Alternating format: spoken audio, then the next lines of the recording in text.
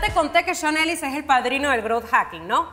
Bueno, él creó una pirámide para resumir las tres grandes etapas de crecimiento de un producto digital. Product Market Fit, preparación para el crecimiento y crecimiento. El crecimiento viene de último y vas a entender por qué. Su modelo es muy bueno, pero es demasiado general. Así que vamos a incorporarle contenido en base a nuestros aprendizajes y sugerencias de otros expertos, porque Sean Ellis no es el único tampoco. Lo que quiero es dejarte algo útil que puedas usar para planificar el crecimiento de tu producto digital. Pero antes de empezar, una advertencia. Seguir estos pasos te acercará al éxito, pero no lo garantizará. Lo siento. El éxito de tu producto digital también dependerá de tu intuición, para leer las señales del mercado, de tu capacidad para tomar decisiones, de atreverte a tomar riesgos, de tu equipo de trabajo, de tu jefe, de tu mamá, de lo que comas, de donde vivas, de la suerte y de muchísimas cosas más. A lo que vinimos. La primera etapa en el crecimiento de un producto digital es el Product Market Fit. Es la base de todo. El objetivo de esta etapa es comprobar que tienes un producto que la gente quiere usar en su día a día y en la realidad del mercado. Aquí estamos hablando de la etapa de Lean, que ya te contamos. Es la etapa en la que tu MVP va evolucionando y quizás cambiando y pivoteando hasta que llegas al deseado Product Market Fit. En esta etapa no te obsesiones porque más y más gente use tu producto. Primero, enfócate en tener un producto que la gente ame o necesite. Mil personas pueden ser suficientes para confirmar esto. Todo dependerá al final en el mercado en el que estés.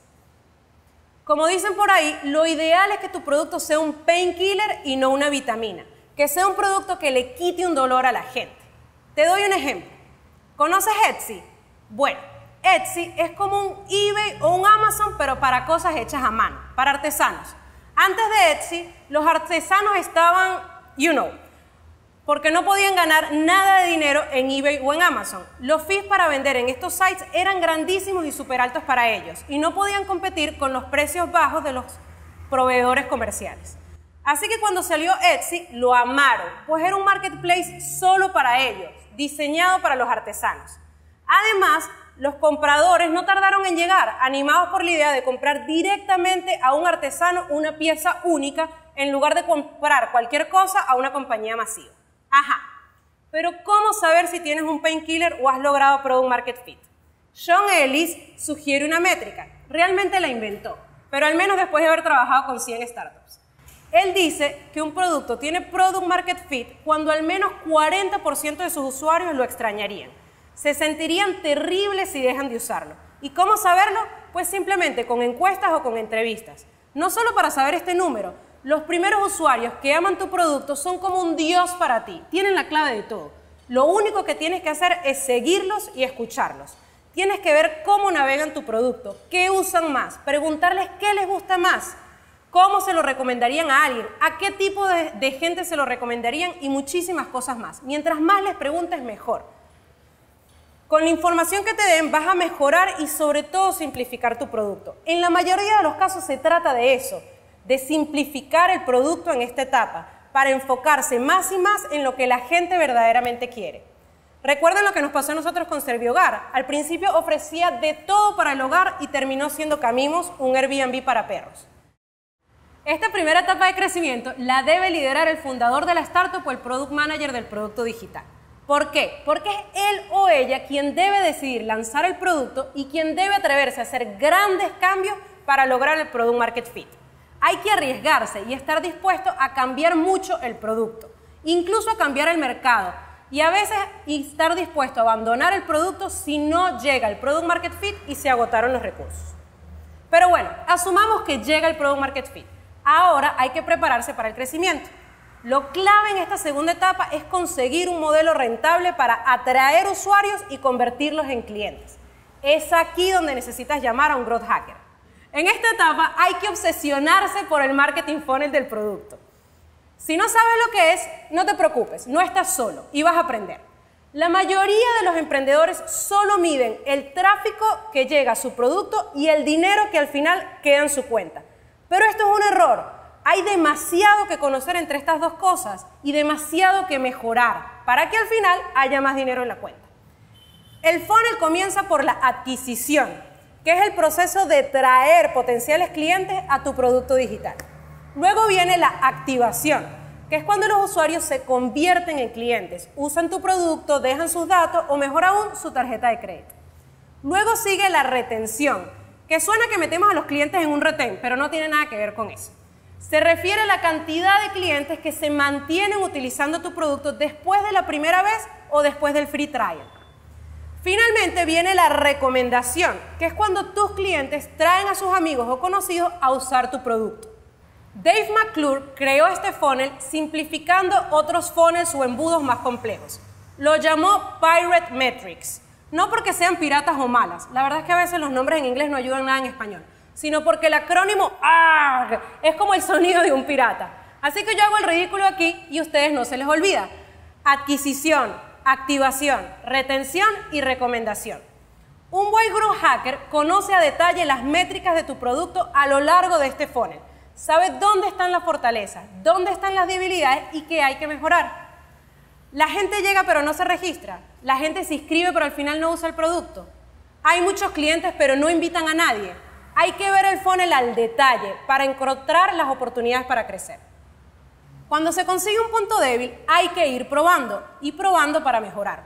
En Growth Hacking no se trata de hacer todas las cosas a la vez o de intentar cambiar todas las variables al mismo tiempo. Todo lo contrario. Se trata de hacer experimentos uno tras otro para ver cómo se mueven estas variables y así poder medir si el experimento funcionó o no. Matan Griffel, CEO de One Month, dice que hay que probar entre 15 y 20 hacks para llegar a la que realmente funcione. Ok, vamos paso a paso para entender mejor el funnel y veamos un par de ejemplos. Ya dijimos que la adquisición es traer usuarios a tu producto. Lo más básico en esta etapa es tener una buena estrategia de SEO o Search Engine Optimization para tu site con un buen contenido que puedas atraer a gente de manera orgánica, que esté buscando las cosas que tú ofreces. Para entender bien SEO hay que hacer todo un curso aparte, así que mejor abajo te dejo un link si quieres leer más sobre este tema. Luego del SEO hay que tener una buena estrategia de paid search para que tu producto salga en Google. No estar en Google es como no estar en el anaquel o en el estante de un supermercado cuando la gente va a comprar tu producto. Tonto, ¿no? Además, mientras más grande aparezcas en el anaquel de Google, mejor. Te cuento una cosa. ¿Sabías que los sublinks, esos links que salen debajo del link principal cuando la gente busca algo en Google, pueden crecer los clics a tu site como 8 veces? Pues sí, ahí ya tienes una cosa que puedes aplicar mañana. Claro que hace sentido, porque sales más grande. Es como si tuvieses más caras de tu producto en el anaquel. Lo mismo sucede en Google. Bueno, sigamos. La siguiente táctica para atraer gente a tu site es la publicidad en línea. Esto puede ser pago o puede ser gratis. Sí, gratis. Y vamos a ver unos ejemplos.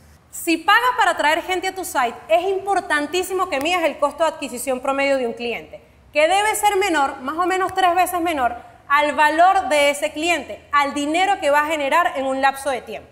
Normalmente se mide a 36 meses. Necesitaría todo un módulo aparte para explicarte finanzas para startups, así que mejor lo dejamos para después. Ese no es el objetivo de este video, pero sí es importante. Te dejo unas referencias al final para que puedas aprender más sobre esto. La publicidad paga en Internet no es para cualquiera. Primero es para quien tiene dinero, pero también es para quien juega en un mercado maduro, con demanda existente. Si vendes un videojuego, lo puedes promocionar en Google, en el App Store o en páginas y comunidades de gamers. La gente va a saber qué es y si le das un buen gancho, pues se animarán a probarlo y a comprarlo. Aquí el reto normalmente es diferenciarse de los big players y conseguir la manera de resaltar.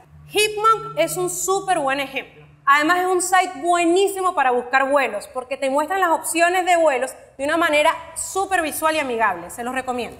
Bueno, Hipmonk se fundó en el 2010 e intentó de todo para resaltar versus los buscadores de vuelos más famosos como Expedia.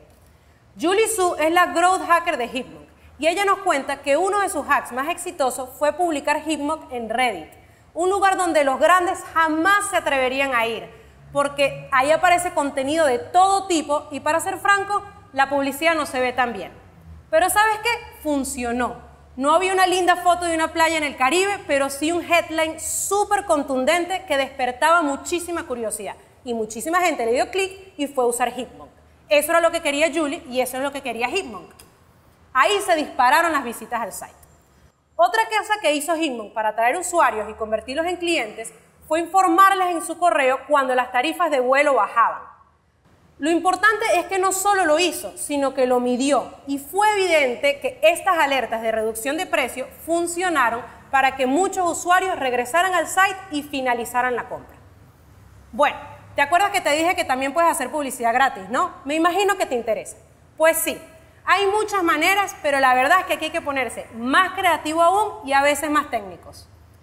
Te cuento un ejemplo. En sus inicios, Airbnb hizo probablemente el hack más famoso de toda la historia. No puedo dejar de contarlo en este video.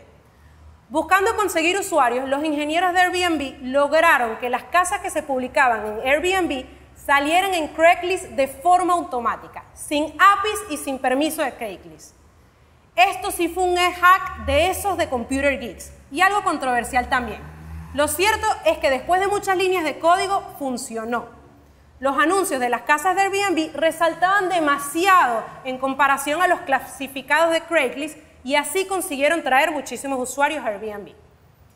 Otra técnica para adquirir usuarios es por medio de los mismos clientes. Esta es la parte del funnel que llamamos recomendación, como el caso de Hotmail que ya les conté en el video pasado y el caso de Dropbox que les voy a contar. Esta técnica es especialmente útil para los productos que son tan novedosos que no tienen una demanda existente. La gente aún no sabe que los necesita. Este fue el caso de Dropbox, que lanzó cuando la gente aún no estaba acostumbrada al cloud storage o al almacenamiento en la nube. Como muchos, Dropbox empezó con publicidad en línea, paid search, banners, etc. El problema es que muy poca gente sabía que era cloud storage y para qué servía y por eso muy poca gente llegó. Al final, el costo de adquisición de usuarios de Dropbox era de 200 dólares. Al final, con poco dinero en el bolsillo, se les tuvo que ocurrir otra cosa. Así, hicieron una estrategia de recomendación. Ofrecieron 500 megas de espacio libre a los usuarios que trajeran a un amigo. Y ahí fue que se disparó la demanda. Bueno, nos saltamos un par de pasos, así que me regreso. Vamos a hablar ahora de activación y de retención.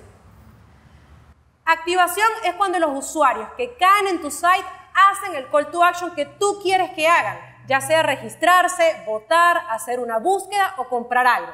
Es importantísima esta etapa. Y aquí el trabajo del Growth Hacker es fundamental y se enfoca en optimizar el diseño de tu producto para maximizar la cantidad de gente que hace el call to action. Aquí es donde los Growth Hackers se hacen expertos en A-B testing probando una versión A y una versión B de tu site para ver cuál de las dos genera más conversión. Los draw hackers hacen A-B testing para todo, no se imaginan, pero uno a la vez, ojo, porque cualquier cosa al final que tú tienes en el site puede cambiar el call to action y puede cambiar la conversión de tu producto. Los títulos, los textos, las imágenes que usa, el botón que usa, el tamaño del botón, el color del botón, dónde pones el botón, todas esas cosas hay que medirlas pequeños cambios pueden subir o bajar la activación de tu site o la cantidad de gente que hace el call to action. No hay que ser un desarrollador o un estadista para hacer estos tests. Hay herramientas súper buenas y fáciles de usar para hacerlos. Las que yo más uso en laboratorio es Optimizely y BWO. Abajo les pongo los links. Les cuento sobre un A-B test que hicimos en laboratorio. Saben que nosotros ofrecemos un curso en desarrollo web exclusivo para mujeres. Nos enfocamos en mujeres porque es una realidad que hay muy pocas mujeres en el sector digital. Y esto sucede porque las ciencias de la computación es una carrera que muchas jóvenes descartan desde un principio, pensando que es muy difícil para ellas. Bueno, realmente es difícil, pero es igual de difícil para hombres y mujeres. Y hay que animar a más mujeres a que se atrevan a estudiar ciencias de la computación o desarrollo web en laboratorio. El punto es que necesitamos un contenido súper fuerte o súper powerful para que la gente se animara en nuestro site a registrarse en nuestro curso. Habían dos hipótesis en el equipo. Había gente que pensaba que un contenido más enfocado en beneficios del sector tech, de los salarios y de los aprendizajes que puedes aprender paso a paso, era más relevante. Y había otro equipo que pensaba que un contenido en empoderamiento femenino, así tipo You Can Do It, era lo que iba a traer a las chicas. Bueno, total que dejamos de discutir e hicimos un A-B testing en BWO para ver cuál de las dos cosas funcionaba mejor. Lanzamos una única publicidad en Facebook, pero WO randomizaba a la gente con un código que se pone en HTML. 50% de la gente veía la versión A del site, que era la más técnica, y 50% de la gente veía la versión B, que era la de empoderamiento femenino. Hicimos esto por cuatro semanas y adivinen cuál ganó. El landing enfocado en empoderamiento femenino tuvo dos veces más conversión un aprendizaje súper importante para nosotros. Es increíble lo poderoso que son los A-B testing. Cuando te veas discutiendo con tus socios sobre qué poner en el site, qué imagen, qué color, qué botón, Paren de discutir, corran un A-B test y ya. La siguiente etapa en el funnel es retención. Aquí el objetivo es que tus clientes se queden contigo. Para lograrlo hay que mantenerlos informados y enganchados. Pero por favor no los bombardeen con correos, sino con cosas que realmente le agreguen valor. No vayan a hacer como el Bank, que me manda dos mail diarios con novedades del Scotia. Hagan como One Month, que ofrece cursos en línea y me avisa cuando crearon un nuevo curso y además me dan un preview de ese curso. Ok, creo que ya hemos cubierto bastante del marketing funnel de un producto digital, que es el mejor amigo de un growth hacker. Los otros mejores amigos de los growth hackers son las herramientas de medición que le permiten medir las métricas a lo largo del funnel y analizar los resultados de las diferentes campañas. Ya te hablamos de Optimizely y de BWO, pero hay muchas más. En laboratorio también utilizamos muchísimo Mixpanel. Les dejo el link de Mixpanel abajo. Bueno, aunque el trabajo de un growth hacker nunca acaba, porque realmente siempre hay que mejorar un producto digital, llega el momento donde sientes que estás listo para crecer y escalar tu negocio. Eso sucede cuando tienes un modelo rentable con diferentes hacks que te funcionaron para atraer usuarios a tu site, para convertirlos en clientes, para retenerlos y para ser los promotores de tu producto. Todas esas tácticas juntas entregan un costo de adquisición de usuarios que es rentable, que es mucho menor al dinero que ellos te generan. Cuando logras eso, brinca en el piso de la emoción, porque llegó el momento de crecer y de escalar lo que funciona. Esta es la tercera y última etapa de crecimiento. Es la que realmente se llama crecimiento porque es cuando escalas. Aquí los inversionistas llueven, aquí creces tu equipo, te mudas a una oficina con vista al mar y la pegaste al techo. Pero por favor, fíjate y siempre recuerda todo lo que tienes que hacer antes. El crecimiento no llega solo y muchos emprendedores fracasan por querer apurarlo. No te apures, aprende todo lo que puedas sobre growth hacking o busca un growth hacker para tu equipo. Pásate el switch del costoso y lento marketing tradicional. Créeme, si yo después de 12 años lo hice, tú también lo puedes hacer.